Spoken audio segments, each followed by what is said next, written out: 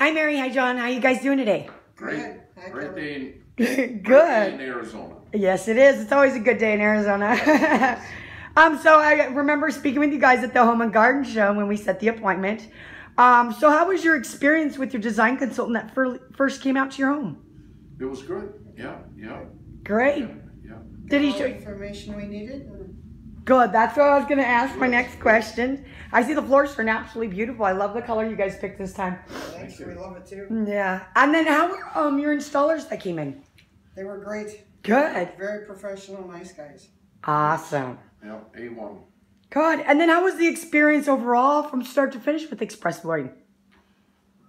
It was, it's very good. It's good. Yeah. We're, we're waiting for one piece here, but uh, other than that, everything's been going great, and Awesome. everybody that's come over really likes it. Good deal. That's what we like to hear. And would you guys refer your friends and family with Express Flooring? Sure. Yep.